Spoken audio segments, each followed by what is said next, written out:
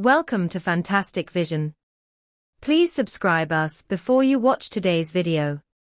Lithography machines are core equipment for semiconductor manufacturing, and ASML of the Netherlands is the world's largest lithography machine manufacturer. ASML's major global customers include South Korea, Taiwan and China. In recent years, China has purchased a large number of lithography machines, with a total of more than 1,000 units. Due to the lack of core policies, China has been in a passive position.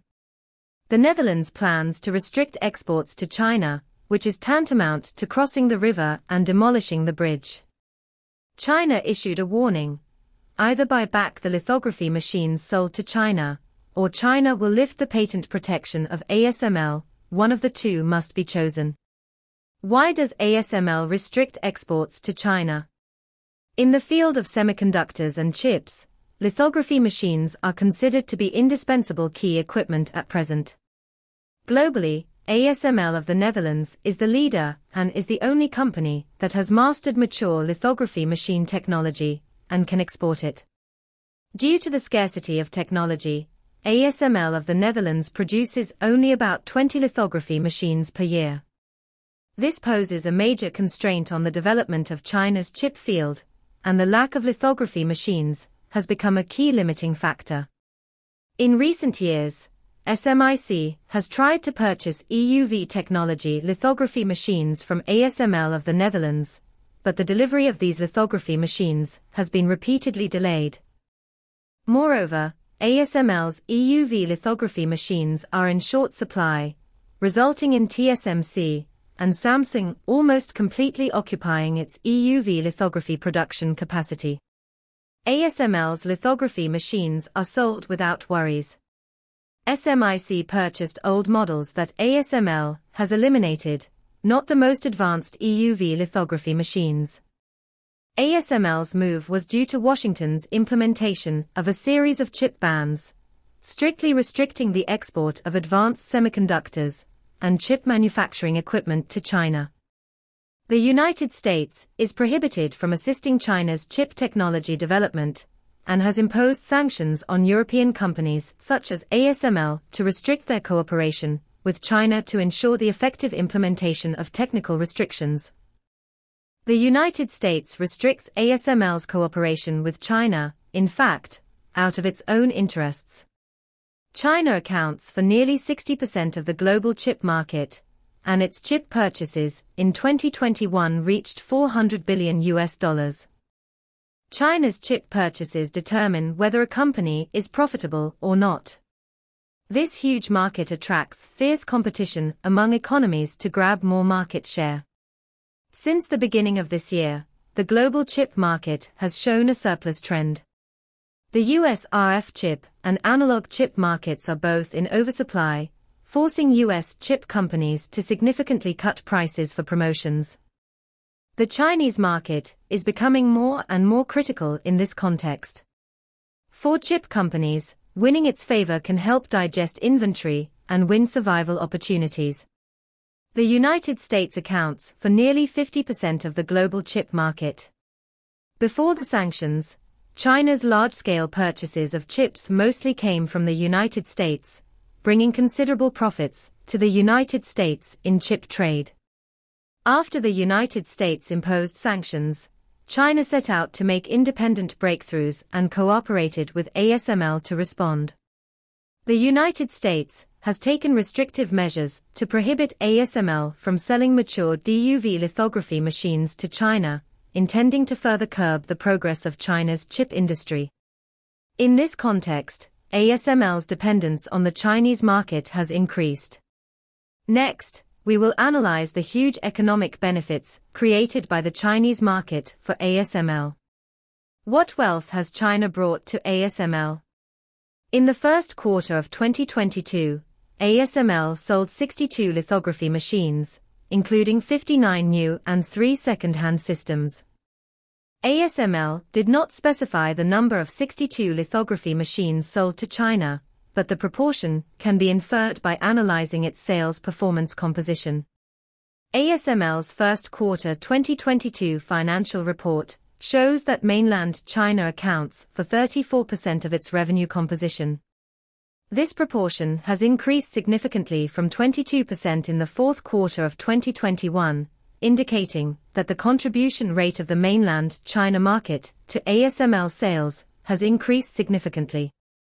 In addition, Taiwan accounts for 22% of ASML's revenue. Combined with the contribution of mainland China, China as a whole brought 56% of ASML's revenue. According to relevant data, in the first quarter of 2022, China purchased approximately 2.22 billion US dollars in lithography machines from ASML. The purchase amount of lithography machines in mainland China was approximately 1.35 billion US dollars, while the purchase amount in Taiwan was approximately 870 million US dollars. ASML's performance shows that the Chinese market is crucial, with more than half of its revenue coming from China. If China is sanctioned, ASML will face heavy losses. China responds strongly. China responds strongly to the ASML sanctions. If ASML sanctions China, it will buy back the lithography machines sold to China, or ask China to lift its patent protection, either of the two. ASML cannot achieve two points, one of which is to buy back all lithography machines sold to China, because the accumulated cost will be as high as 500 billion, which is not realistic. Such a huge amount of money is difficult for ASML to raise quickly. Furthermore, if its patent protection is lifted, ASML will completely lose the Chinese market, with serious consequences. China is an indispensable market for ASML. While issuing warnings, China is committed to achieving independent development. After the United States adjusted its chip control policy, many Chinese companies abandoned their old ideas and turned to strengthening independent research and development and technology investment to meet the challenges they faced. In the field of lithography machines, Chinese companies have made significant progress. If they master top lithography machine technology, even if ASML provides more equipment, Chinese companies will no longer need to buy from it.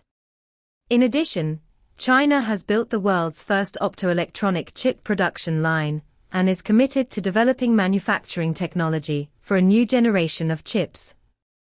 Chinese companies have gradually reduced their dependence on lithography machines and are constantly exploring and developing new manufacturing processes.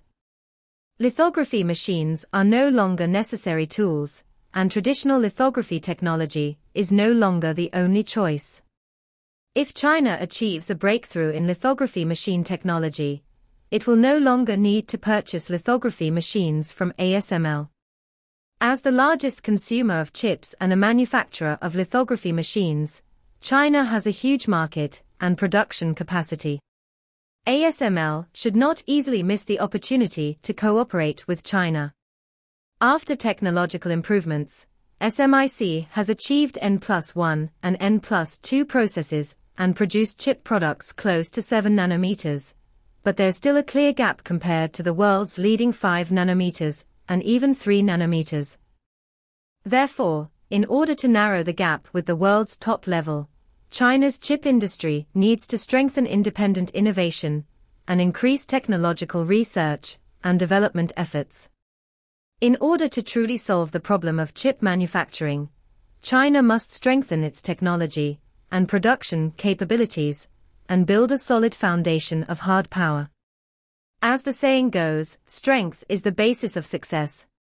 China needs to unremittingly enhance its R&D strength and production level to ensure that it is invincible in the competition.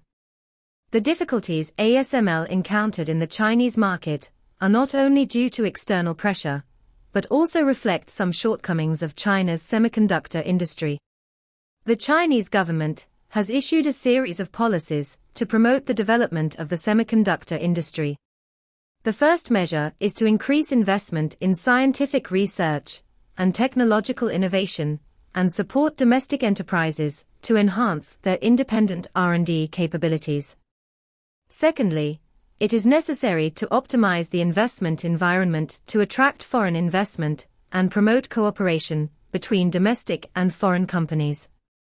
At the same time, it is necessary to strengthen talent training and introduce top international talents to comprehensively enhance the overall competitiveness of the semiconductor industry. China's efforts in the semiconductor field have shown results and the future is promising. There is no doubt that the rise of China's semiconductor industry is unstoppable. Despite the challenges and difficulties, the Chinese government and enterprises are determined and motivated to develop the semiconductor industry, which will drive the industry to achieve greater success.